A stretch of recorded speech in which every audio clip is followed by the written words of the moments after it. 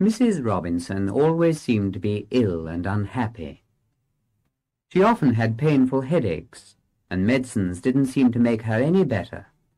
So at last her husband took her to a good doctor. The doctor examined her carefully and asked her a lot of questions.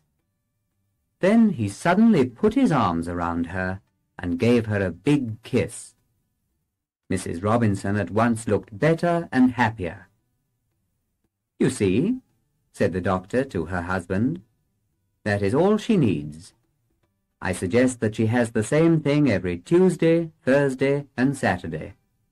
And he smiled.